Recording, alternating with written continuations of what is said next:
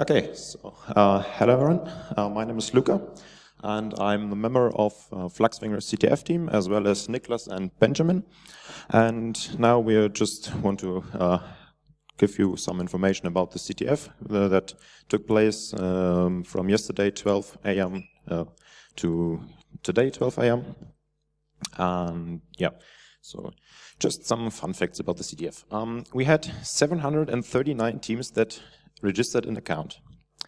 And only 574 were able to activate them. Yes, this, this had two reasons. First, they forgot. And second, I think the most important one is because we had a HTTP 500 on our server. Yeah, we needed to activate most of the teams by hand. And so maybe this is one of the reasons uh, why about 150 teams were not, were not activated because they missed our uh, announcement to um, tell us that their account is not activated so that we can do it by hand. And of these 574 teams, only 220 actually participated in the CTF and solved at least one challenge. So yeah, it's like about a third of all teams that registered. Um, in total, we had 644 um, solves of challenges, uh, and um, we uh, we uh, captured the network traffic. And at the end, we had 13 gigabytes of traffic dumps. And I think this is a lot because we did not have many services that needed interaction with the server. So um, yeah, 13 gigabytes is uh, a lot. Yes. Um, before we get to the actual result of the CTF, I need to tell you something about our bonus point system. Uh, we invented a new one. Uh, compared to last year, we also allowed bonus points below zero. So we had a range from minus 100 to plus 100. Um, this has nothing to do with how fast or how efficient teams solve the challenges. This is just uh, in case we uh, ranked our challenges wrong so that we can dynamically adjust the points. Um, I had I have two um, examples, like Call of Cthulhu.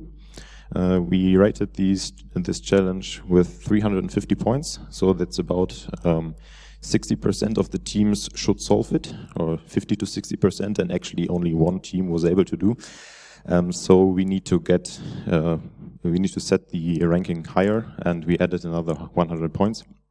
And on the other side, uh, we had this simple PDF challenge, and we thought um, that about 80 to 90% of the uh, teams were able to solve it, and actually about 95% were able, so we needed to lower the points, and this is why we get uh, negative bonus points.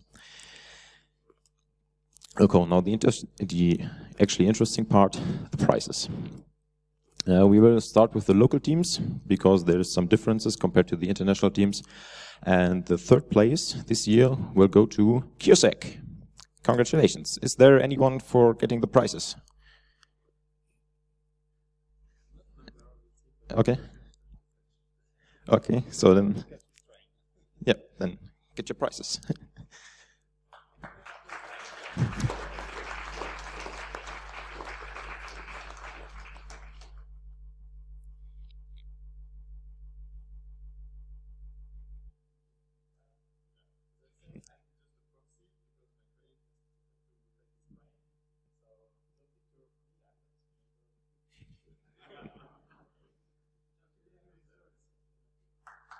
Congratulations again.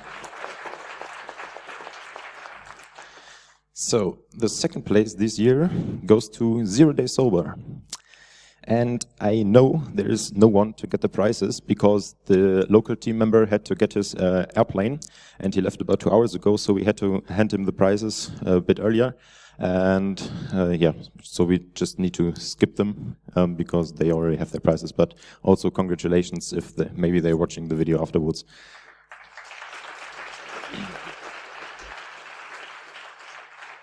Yeah, and the first prizes this year go to LCBC. Congratulations.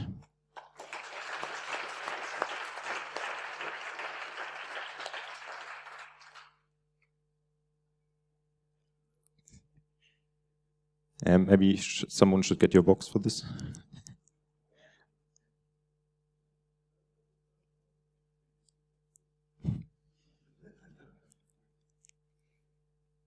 Okay.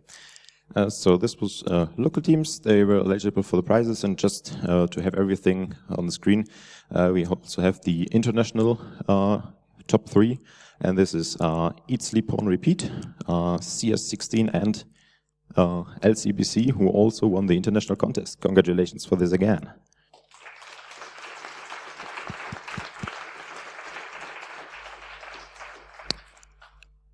And we also have to do a special mention this year because we had the old T-shirt contest.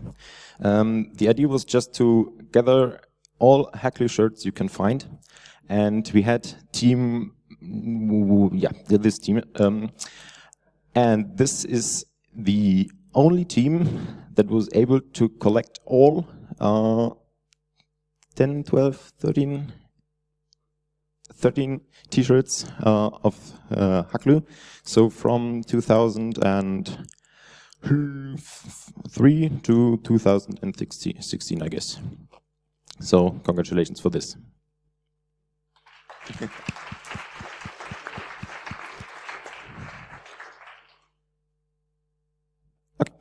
Um, yes, so that's all. I thank you for your uh, attention and hope you see you next year.